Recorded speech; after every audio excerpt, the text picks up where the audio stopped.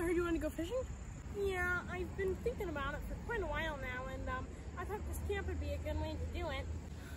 Yeah, that'd be great. Uh, you can just pick out uh, whatever bait you'd like to use. Yeah, I guess I guess it just doesn't matter um, what bait you use. Yeah, right now it doesn't uh, really matter this time of year. Um, so I got this one that's newer if you want to use it. Um, yeah, I guess I'll, uh, I'll pick that bait out um, right now then. Uh, thank you. Oh, I think I picked out this one. I think this one, um, I think this one will be the best, uh, best bait to use. Um, um, yeah, that's fine. Uh, you can go ahead and uh, use this uh, spinning reel right here. It's a little bit easier than the, uh, the bait caster, so I assume you don't know how to tie a knot? Oh, no, don't you just worry. I know how to tie a perfect fishing knot. Um, yeah, that's uh, fine. I guess if you know how you can uh, tie it up yourself.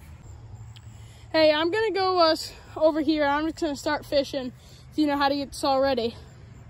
Yeah, that's fine. Um, I'll see you in a minute. I'm gonna tie this on.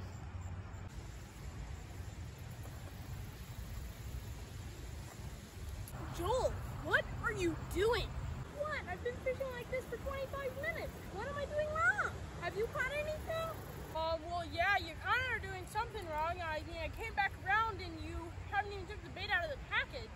And also, I've caught eight fish. Well, you should have told me. I mean, I, I, I just didn't know what to do. Well, you said you knew what you were doing from here on, so that's why I left you for the last 25 minutes. And this is why you haven't caught anything. Let's go home.